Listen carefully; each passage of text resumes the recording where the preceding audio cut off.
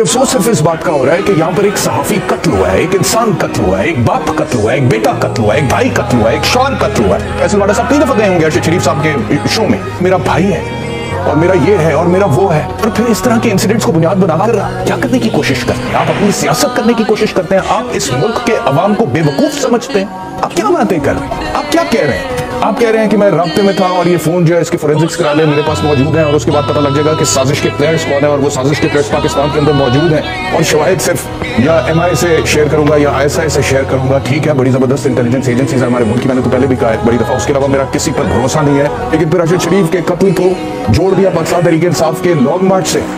और ये बोला कि इस लॉन्ग मार्च में बहुत सी लाशें गिरना चाहती गिर, गिर, गिरने वाली और मैं उनको बचाना चाहता हूँ पाकिस्तानियों को बचाना चाहता हूँ। आप उन्हें बचाना चाहते हैं या आप अपनी नायली खत्म करवाना चाहते हैं? मुझे सिर्फ़ ये बताए ना बेवकूफ़ मत समझे। और मुझे सिर्फ़ इस बात का गुस्सा है कि आप अपने सियासी बयानियों को किसी भी हद तक कहाँ पे जैसे भी बात करना चाहते हैं आप करें सियासत के नहीं होता ये मुझे मालूम है। बहुत सारी और शोभा ज़िंदगी से ताल्लुक रखने वाले लोगों को मैंने बहुत बेहिस देखा है। हमारे इर्द गिर्द मैंने बहुत बेहिसी देखी है इस मुआशरे में। लेकिन आप किसी की मौत पे तो ऐसे ना ना करें।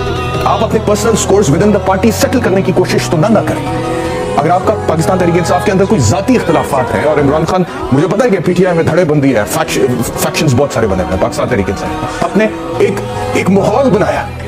मैं पता नहीं क्या बताने फिर कुछ भी नहीं बताया।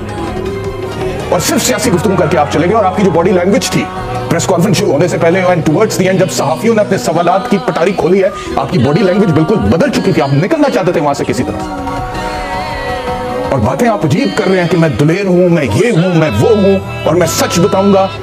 और फिर आप बोलते क्या है?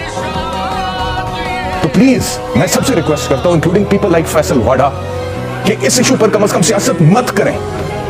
इंसाफ होने दें, इंसाफ की बात होने दें, तहकीकत होने दें, तहकीकात